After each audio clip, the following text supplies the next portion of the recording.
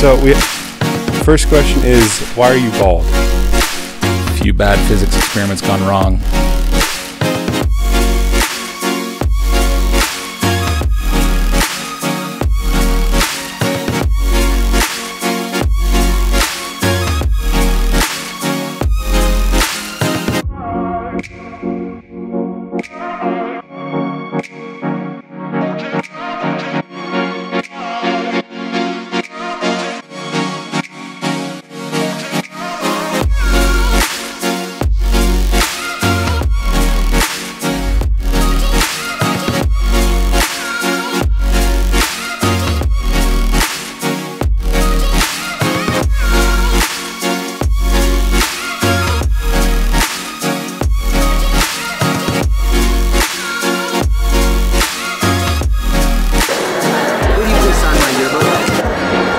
Please sign my yearbook?